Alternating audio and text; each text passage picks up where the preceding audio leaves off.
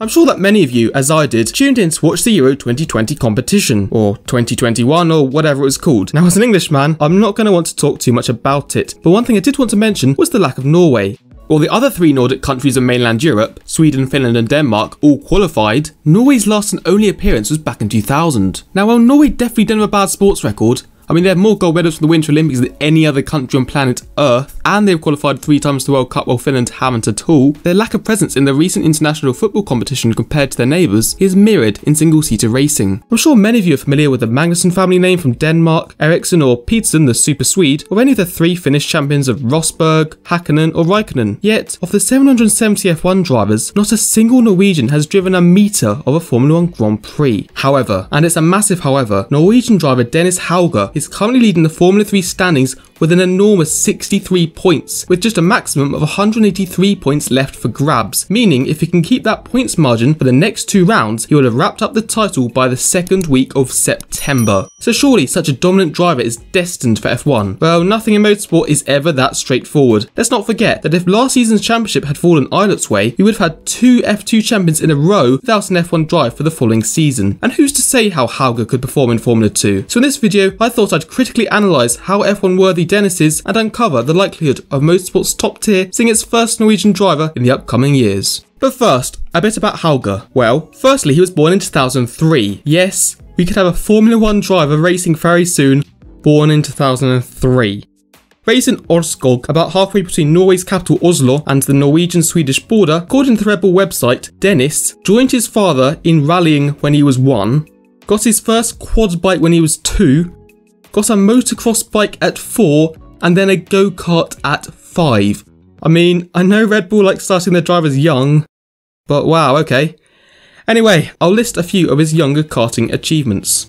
Between 2011 to 2013, Dennis was on the podium in 62 out of 70 races nationally. During his second season in WSK in Italy in 2015, he was on the podium in 13 out of 14 races, 7 of them being on the top step. And in 2016, he became the youngest ever DKM OKJ German champion, and in 2017, the youngest ever DKM OK champion. Now, just to put into context how well he performed during karting compared to other F1 drivers and F1 hopefuls, well, he finished 7th in the top European karting championship he did. And while that might seem disappointing, especially when looking at the drivers who beat the Norwegian, he did finish ahead of the highly rated Theo Pourchaire. And only one champion of that series has reached F1, which of course is the one and only Max Verstappen. Interestingly, he didn't compete in the Senior World Karting Championship, the same championship that the likes of Norris, Leclerc and Verstappen have all finished in the top three in, but Red Bull clearly saw potential in the Norwegian and they signed him to their junior team for 2018.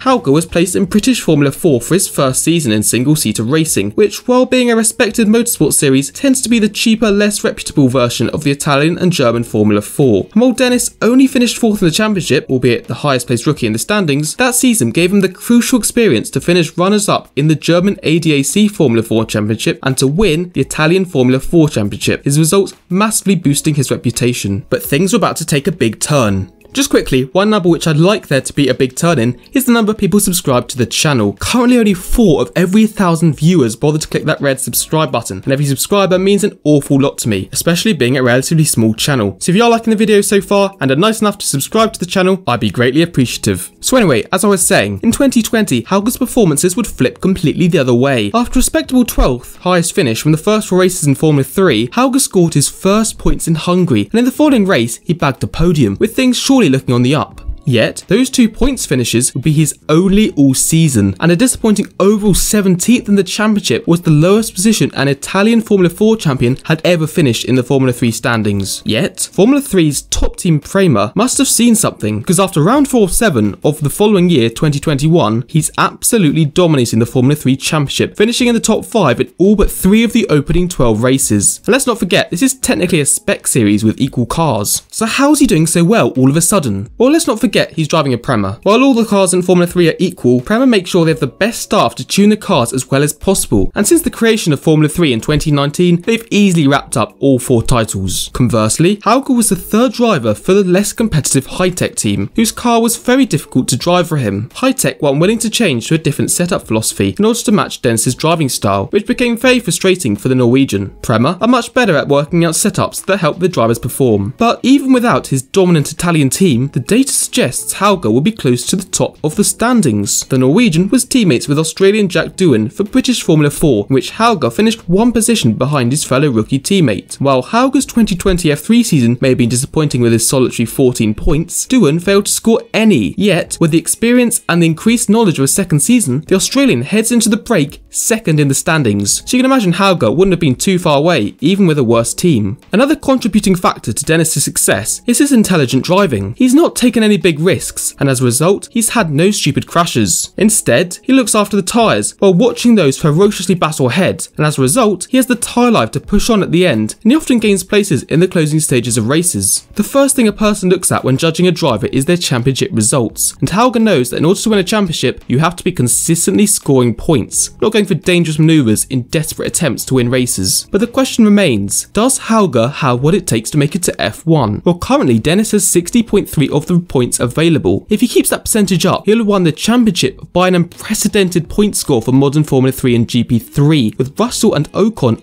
only taking home 59.9 and 58.6% in their exceptionally commanding seasons respectively. Russell holds the highest points margin of an F3 driver with a stunning 79 point gap to Aitken, although Hauger is only 16 off that with 9 races to go. Now some people will say Hauger's teammates aren't that competitive, that the field is weak, or that Hauger's had an extra year in F3 compared to the likes of Russell. But the truth of the matter is, you've got to be talented to be that dominant. On the contrast, some will say that Hauger will easily be in F1. Ocon was promoted straight to F1 after his incredible F3 season, and now look where he is. A race winner, and Russell should have won that race in Sakhir at the end of 2020, with of course it being likely that he'll step onto the top step in F1 at some point during his career, and he only needed one season after Formula 3 to get to F1, and that was when he won the F2 Championship in his debut year, beating Norris and Albon to the title. It will be interesting to see what happens with Hauger in F2 next season. Shwartzman picked up 55.2 of the points in his 2019 F3 winning season, yet despite leading the championship early on, he strangely ended up off the pace and finished in 4th. But regardless of that result, the Russian has enough super points to be in F1. The main reason he's not in Motorsport's top tier is due to being in the stacked Ferrari Academy and the limited places in F1 currently available. Well, the worst thing about the Red Bull Academy is the harsh sackings. It also means that if you're good enough, you're going to F1, and if you're good enough at AlphaTauri, you're ending up in a race winning car to challenge for the championship. We've all witnessed Red Bull struggling to find drivers to fill up their seats in recent times, so Hauger is perfectly positioned to pounce if he can finish the F3 season strongly and have a good F2 season next year. So will the Norwegian flag finally be flown in F1 very soon? Well, this decade has definitely the best chance of that happening in F1 history, but you can never predict anything in motorsport, so it's going to be very interesting to see what happens in the upcoming years. Another thing I'm interested to see is if you're subscribed, so if you wouldn't mind checking and tapping the subscribe button if you did enjoy the video, and you might as well tap the bell icon while you're down there. But thanks for watching, there are a couple videos on screen now, have a nice rest of the day everyone, and goodbye.